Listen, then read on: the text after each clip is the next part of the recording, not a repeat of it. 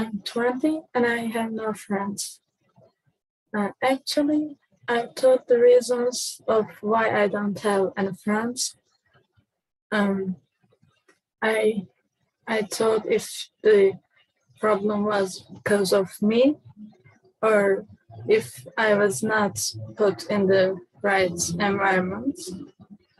And um, actually, I found out that it has um, was also much to do with me, and because I actually thought that if I genuinely want friends, or if I just push people away, and the answer is that I tend to push people away because, first of all, I um, I like alone time a lot, and I need alone time a lot.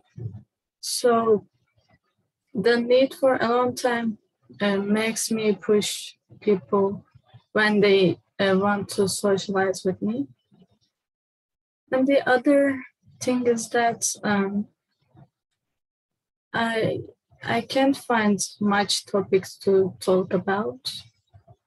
And I'm not a very talkative person, and I get I guess that's the the most major parts of why I don't have any friends. And um, I just usually um, sit in a corner being silent.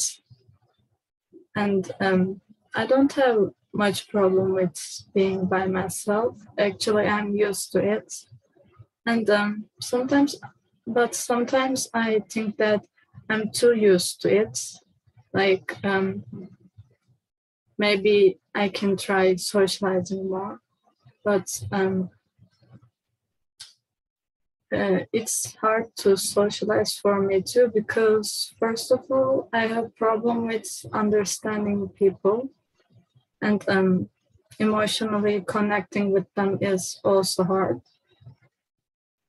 And um, yes, I had um, people whom I um, talk to, sometimes talk to, but um, would I call them friends?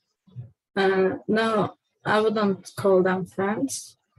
Like they're acquaintances and um,